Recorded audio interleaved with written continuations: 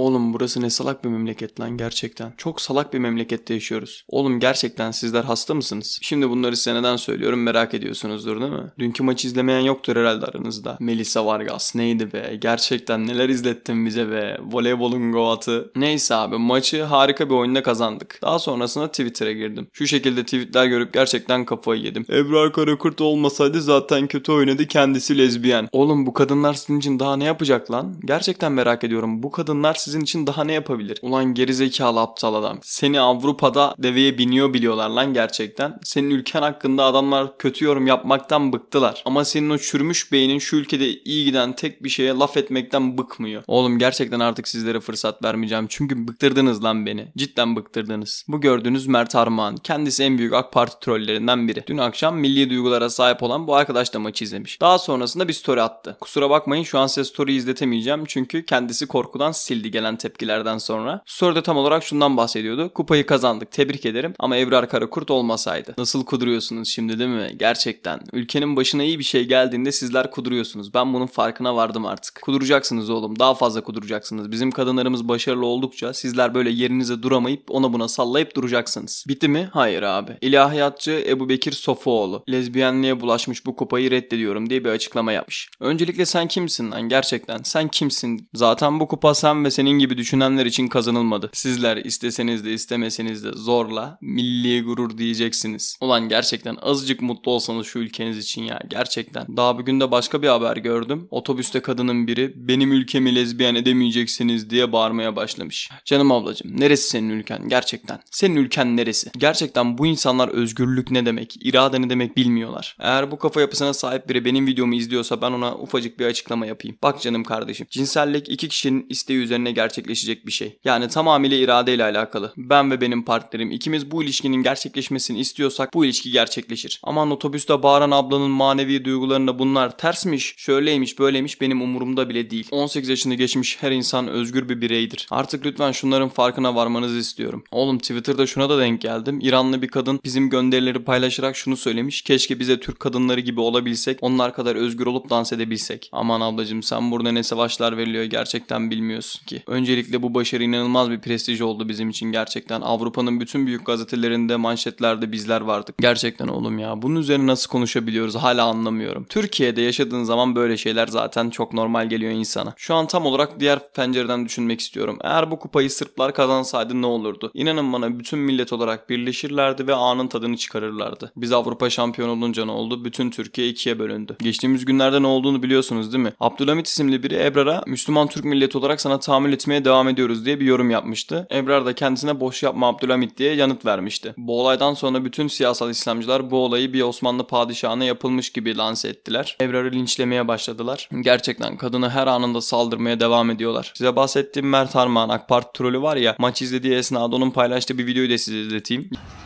Topu aldı. Bir de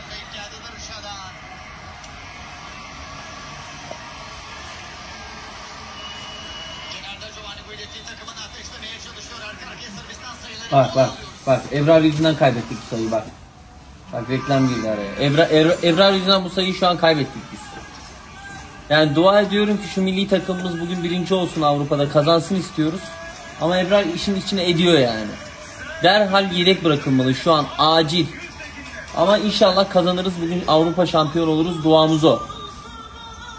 Bakalım Yıkamadınız yıkamayacaksınız arkadaşlar. Ebrar Karakurt kendi halinde bir marka oldu. Filenin sultanları da küçük kızlara resmen bir örnek haline geldi. Sen bizim milli gururumuzsun Ebrar. Umarım bu şekilde filenin sultanları devam eder. Bu başarıların tamamını da Türk sporunda görürüz. Tekrardan söylemek istiyorum. Tebrikler filenin sultanları. Hatta teşekkürler filenin sultanları. Sizler böyle olmaya devam ettikçe kimse sizi yıkamaz. Başarılarınız sürekli daim olsun. Ve bu videonun da sonuna gelelim. Sonraki videolarda görüşmek üzere. Kendinize dikkat edin. Bay bay.